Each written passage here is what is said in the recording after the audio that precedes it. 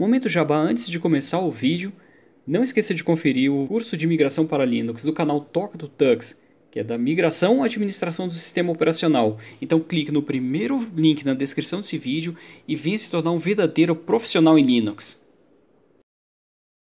Então, esse é o Power Mac G4, né? PC or Mac?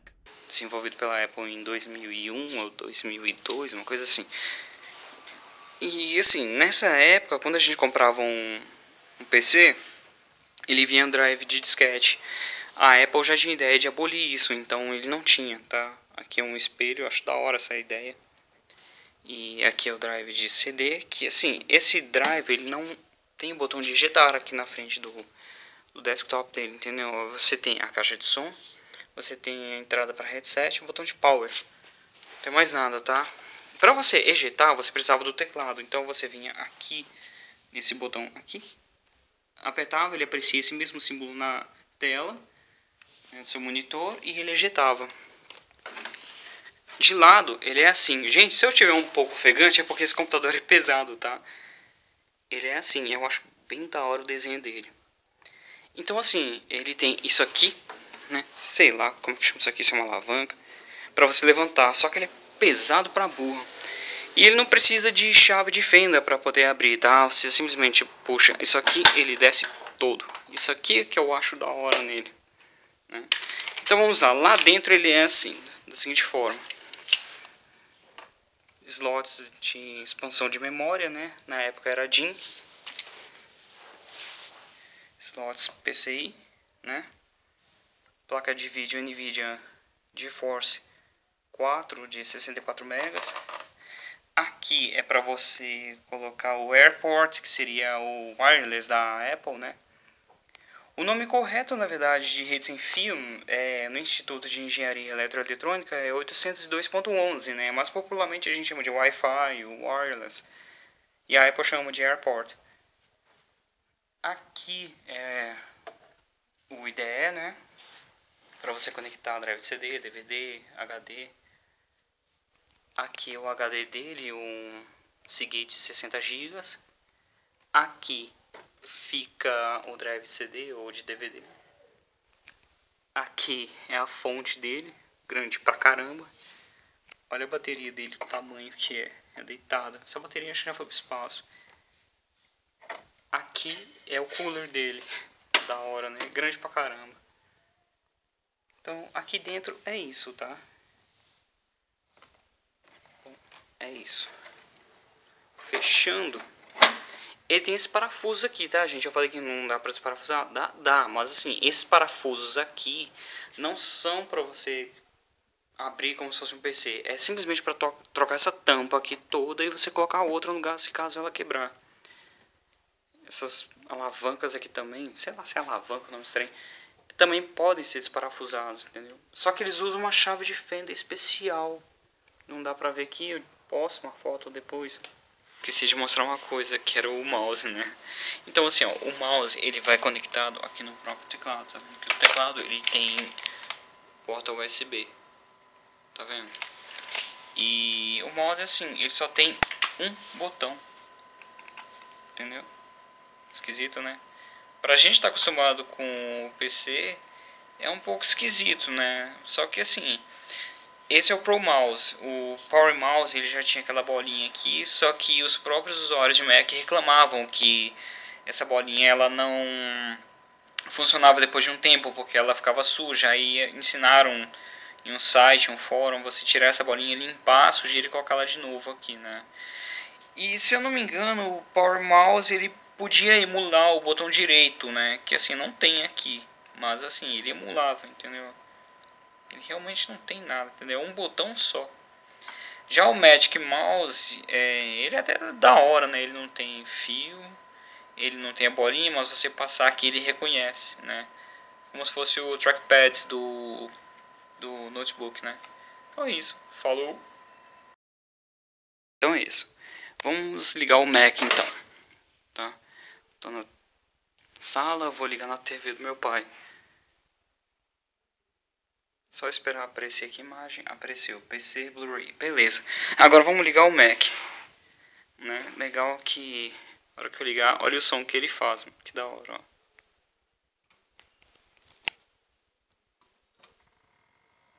Ouve só, ouve só.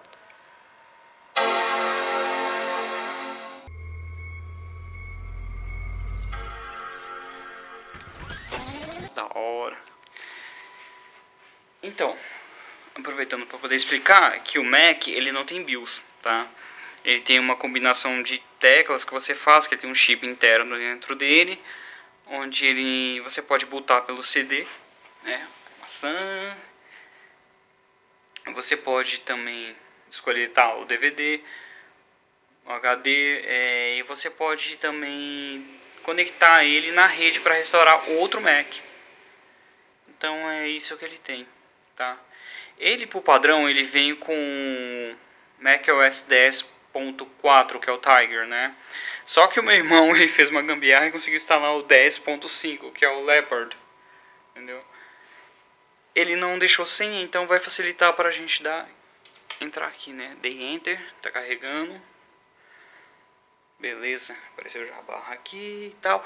Ele tá aparecendo essa imagem porque eu acho que a bateria já era mesmo, mas tá aí macOS 10.5. Eu vou carregar as informações dele só um momento.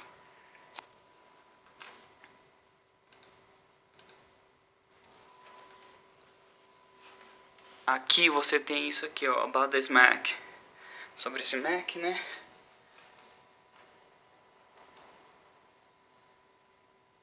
Deixa eu carregar aqui more info.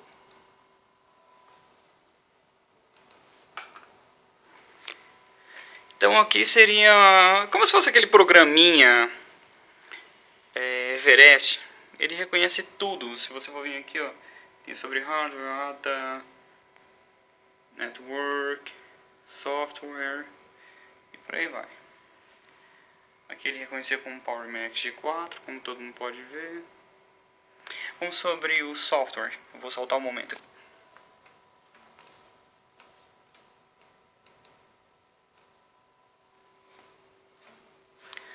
macOS 10.5 o kernel dele é chamado de Darwin, né? Por aí vai. Então tá, aí eu pergunto, por que, que ele conseguiu instalar? Porque assim, o 10.5, na verdade, ele é para os Macs, né? Só que com os processadores x86. E esse aqui já é, é PowerPC, é uma arquitetura diferente. Então, binariamente, eles são diferentes. Eu vou abrir o terminal aqui e vou mostrar. Só um momento, gente terminal dele, né? Beleza. Eu vou ler a variável shell.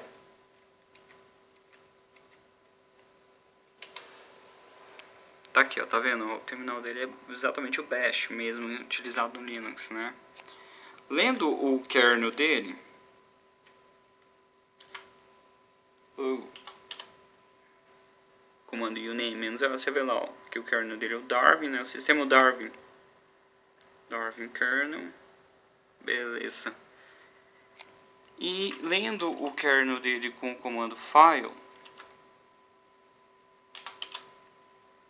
vemos aqui, ó, que ele tem suporte à arquitetura i386 e PowerPC. Esse é o motivo de você conseguir rodar o macOS 10.5 dentro dele, né, que é o Leopard que a Apple estava num período de transição de arquitetura entre PowerPC e para x86, né? Acho que era no 10.7 já, que era o Lion, que já não tinha mais esse suporte, que eu lembro que eu vi num cliente que eu fui instalar um modem 3G para ele. Então é isso. Agora vamos rodar o Linux nele. É... Bom, tá aqui o Ubuntu 6.06, né? A Canonical entregava CDs assim, eu achava da hora isso aqui, né? E esse aqui é exatamente para o PowerPC, como você pode ler aqui, entendeu? E vamos rodar. Lembra que eu falei que dava para ejetar pelo teclado? Ó, vamos apertar aqui, olha que aparece ali, ó, ó o símbolo e o drive abriu aqui. Apertando o botão de novo, ele fecha. Fecha, meu filho. Vamos reiniciar o Mac para poder rodar o Linux.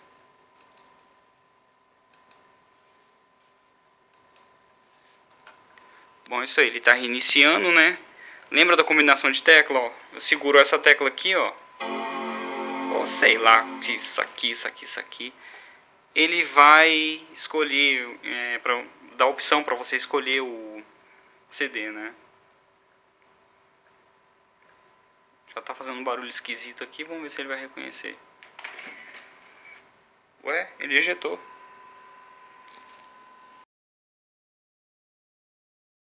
Vamos ver, vamos ver se vai.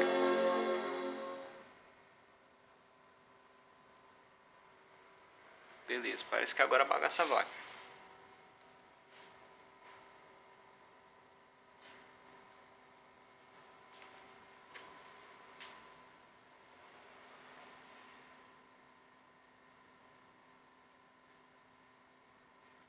Isso aí, agora tá indo o Linux, ó. Carregou. Welcome to Ubuntu. Hey. Dou enter aqui e vamos carregar o Ubuntu. Tá carregando o kernel. Daqui a pouco ele carrega o run disk, né? E foi. Nessa TV ele aparece um pouco distorcido, né? Mas é só para provar que o Linux roda aqui. No meu monitor ele aparece a imagem normal, não sei. Acho que é mais essa TV aqui mesmo que ele não reconheceu. Que eu cheguei a rodar o Ubuntu há um tempo atrás, né? Vamos ver. deixa ele carregando, ele vai demorar um pouco ainda. Símbolo do Ubuntu distorcido aqui. Deixa ele carregando aí. Configurando o X, né?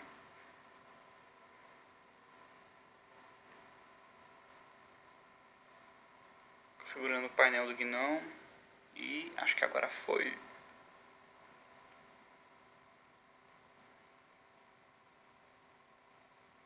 configurando o gerenciamento de energia.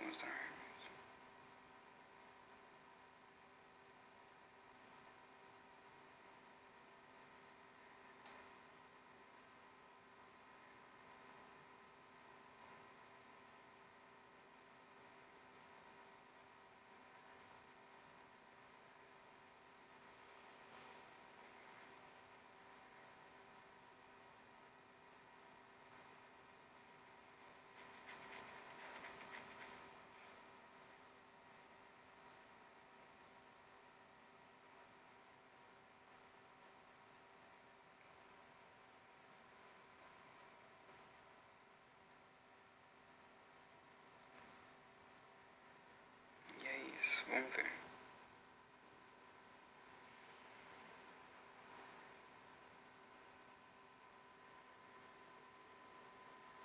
Bom, para quem já utilizou os Ubuntu antigos, vai reconhecer essa música aqui, ó.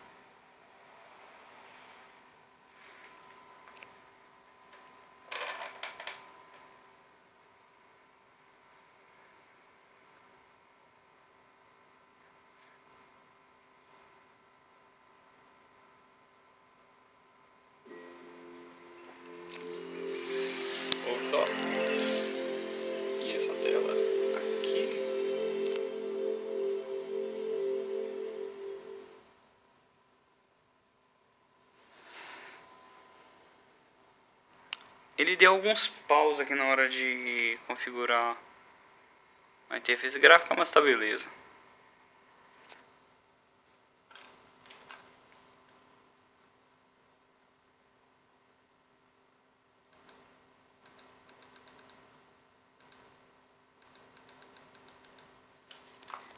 E é isso, tá aqui. Eu tô tentando fazer o símbolo da, da Canonical aparecer, mas não aparece.